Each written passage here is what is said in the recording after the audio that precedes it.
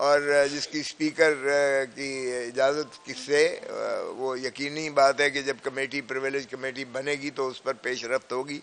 लेकिन मैं नहीं छोड़ूँगा, ना आईजी पंजाब को छोड़ूँगा, जिसने मुझे अगवा किया करवाया, ना एसएसपी ना डीआईजी और ना ही एसएचओ साउथ कैंट या नॉर्थ कैंट और डीएसपी जो राना इशफाक था वहाँ, जिसने मुझे ले जाकर पाँच छः घंटे बिठाए रखा।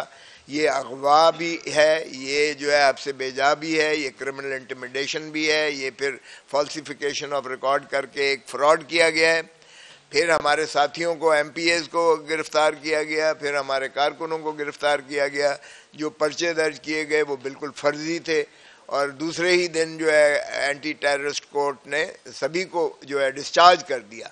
और उसमें हमारे ऊपर फायरिंग डाली गई, हमारे ऊपर जो है तशद के वो करवाया गया हमसे और कहा गया कि वर्दियाँ फाड़ी गई हैं पुलिस अफसरों की और उनकी गाड़ियों पर जो है डंडे बरसाए गए आप सारे लोग साथ थे, किसी के कैमरे ने कुछ तो ऐसा दिखाया होता, और लाहौर तो वैसे ही सेफ़ सिटी है, वहाँ तो सीसीटीवी कैमरे लगे हुए हैं।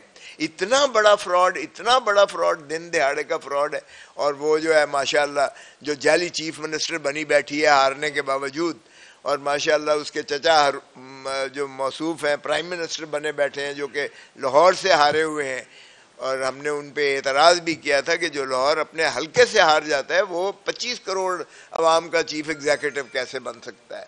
लेकिन बाहर कैफ, एक जबर है और डी फैक्टो वो मार्शल लॉ के जिस तरह हम डी फैक्टो कहा करते थे कि जी ये मुशरफ डी फैक्टो है जियाउलक डी फैक्टो है डी जूरे तो उनका हैसियत ही नहीं थी। अब भी घुस बैठिए हैं जो असम्बली में बैठे हुए हैं पार्लियामान में बैठे हुए हैं, जिन्होंने बंदर बांट करके सारे पाकिस्तान के अहदे ले लिए हैं तो ऐसी सूरत में और फिर जो हमारे हैं, अब अब एक और मज़ाक बनाया हुआ है। पहले हमसे जो है स्पेशल सीटें ले ली। पहले आठ फरवरी जब फॉर्म 45 में हम जीते हुए, सौ बंदे हमारे जो है, नौ फरवरी को, नौ फरवरी को सौ बंदे हमारे फॉर्म 47 के ज़रिए जीतों को हरा दिया और हारों को जिता दिया। फिर हमसे जो है, मखसूस नशस्तें छीन ली गई। मखसूस नशस्तें छीन ली गई। फिर हमारे जो है चेयरमैन इमरान खान को दो हफ़्ते के लिए मज़ीद मुकम्मल मुकैद कर दिया गया ताकि कोई कंसल्टेशन मज़ीद ना हो सके, ये जो सेनेट के इलेक्शन हुआ चाहते हैं। फिर अब हमारे जो इलेक्टेड हैं, उनके खिलाफ दरखास्तें लेकर रीकाउंटिंग रीकाउंटिंग का एक फ्रॉड किया हुआ है और हम, मार्जिनलाइज करने की कोशिश की गई है। और जहाँ भी आज मैं एक केस करके आया, एन ए एटी वन का।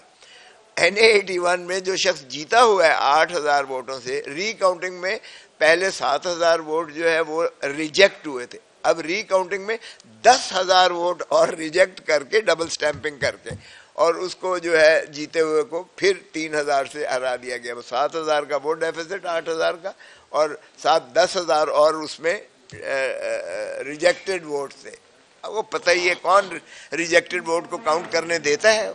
वहाँ सारे आपके पोलिंग एजेंट्स बड़े मुस्तैदी से बैठे होते हैं। एक नहीं होता, सारी सियासी जमातों के होते हैं। तो ये रिकाउंटिंग में जो इस तरह से डबल स्टैंपिंग ठप्पे मार के किए जाते हैं, ये सारा फ्रॉड है और ये सिर्फ़ और सिर्फ़ पीटीआई के उम्मीदवारों के खिलाफ ही किया जा रहा है। तो ऐसी सफोकेशन में, ऐसी सप्रेशन में मैं समझता हूँ चौधरी इश्तियाक का आना जो है, ये वाकई जिहाद करने के मुतरदफ है। हम लोगों ने जो इलेक्शन लड़ा है हमने आग के दरिया से गुजर के इलेक्शन लड़ा है। आप यकीन कर कीजिएगा कि ऐसी अंधेर नगरी पाकिस्तान तो क्या शायद दुनिया के किसी मुल्क में ऐसी अंधेर नगरी की कहीं देखने और सुनने में नहीं आई होगी जो इस वक्त पाकिस्तान में ये डबल हाइब्रिड सिस्टम जो है ये नाफिज किए हुए है। और इनकी बेचारों की तो इतनी यानी कसम पुरसी का आलम है कि ये चीफ मिनिस्टर जो है बलूचिस्तान का ये इन, इनकी मर्ज़ी से नहीं लगा है। इनको ये तो वज़ीर ख़जाना भी अपनी मर्ज़ी से नहीं लगा सकते। ये वज़ीर दाखिला भी अपनी मर्ज़ी से नहीं लगा सकते। और वही जो केयर टेकर गवर्नमेंट के जो नुमाइंदे और गुमाश्ते थे, उन्हीं को सारी की पोस्ट दी जा रही है, रियासी अहदे सारे उनको दिए गए हैं। तो ये इंसल्ट है अवाम की, जिन्होंने आठ फरवरी को मैंडेट बड़ा जालिम किस्म का और बड़ा क्लैरिटी के साथ दिया कि इमरान खान ना दहशत गर्द है, ना इमरान खान गद्दार है। और इमरान खान की सारी सजाएँ उन्होंने मुस्तरद की। उन्होंने इमरान खान के जो जितनी सप्रेशन और सफोकेशन थी, ये वाहिद इलेक्शन है जिसमें लोग कैंडिडेट को ढूंढ रहे थे। लोग सिंबल को ढूंढ रहे थे, क्योंकि हमने तो एक बल्ला मांगा था, इन्होंने तो सारा जहेज का सामान दे दिया, किसी को कटोरा दिया, किसी को जो है बैंगन दिया, किसी को कुछ दिया, लोग ढूंढ रहे थे यकीन करें।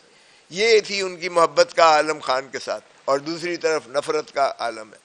काश हम इस मशरकी पाकिस्तान से कुछ सबक तो सीख लें खुदारा हम क्यों अपनी धरती माँ के पीछे लगे हुए हैं इसको नुकसान पहुँचाने के लिए? तो ऐसे में हमें चौधरी इश्तियाक जैसे मुहब वतन और चौधरी इश्तियाक जैसे जो है ह्यूमन राइट्स इंसानी हकूक़ के अलम्बरदार ही की मैं समझता हूँ ज़रूरत है जो आए आगे और इस पीटीआई को भी और क्योंकि बग़ैर इमरान खान को रिलीज़ किए, बग़ैर शाह महमूद कुरैशी को रिलीज़ किए, बग़ैर जो है चौधरी परवेज़ लाई को रिलीज़ किए, बग़ैर डॉक्टर यास्मीन को रिलीज़ किए, बग़ैर एजाज चौधरी को रिलीज़ किए, और जितनी हमारी मस्तूरात और जितने हमारे कारकुन हैं, ये पैंतालीस साल इन्होंने लगाए भुट्टो को बेगुनाह करते हुए सुप्रीम कोर्ट ने। मत लो और पैंतालीस साल कि एक और हरदिल अज़ीज़ वज़ीर आज़म इमरान खान जो लोगों की दिलों की धड़कन है, उसको भी अंदर रख के और पैंतालीस साल के बाद कहो कि नौ मई का शाख ड्रामा जो था, और नौ फरवरी नौ फरवरी में मुंतज होकर उसको जो है जब हरा कर मार्जिनलाइज किया गया। तो एक और कायद को खुदारा इंसाफ देने के लिए सुप्रीम कोर्ट की हाईएस्ट बेंच बैठ के ये भी फैसला कर दे कि क्या 9 मई का ऑर्केस्टर्ड मूव जो थी, वो फिर एक हरदिल अज़ीज़ कायद को जो है वो आवाम से मुनकते करने की एक साजिश थी घनावनी साजिश। और एक ड्रामा जो इलेक्शन का रचाया गया, आठ फरवरी को तो जीता हुआ इलेक्शन। नौ फरवरी को हरा दिया गया।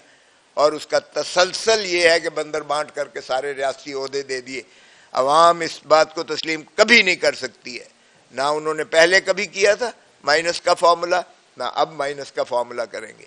तो बजाय इसके कि चालीस और पैंतालीस साल आप लें, इंसाफ देने में खुदारा पाकिस्तान को अगर मज़बूत देखना है, जमहूरियत चलानी है, मुल्क को जो है आगे फलाही ममलकत बनाना है तो एक ही हल है। इन सबको रिलीज़ करें और मैंडेट चोरी शुदा जो है वो अवाम को वापस करें और अवाम को सही हक के हुक्मरानी का हक दें ताकि ये मुल्क जो है खुदा दाद पाकिस्तान आगे चल सके। इमरान खान का जो क्रेडिट है, वो आपके सामने है। आज का दिन जो इस्लामी फोबिया का दिन बनाया जा रहा है बैन अवी तौर पर, उस मर्द मुजाहिद ने यूनाइटेड नेशंस में खड़े होकर जो तकरीर की, वो भी तारीख साज तकरीर है। और इन अल्फाज के साथ मैं आपका बहुत मशहूर हूँ।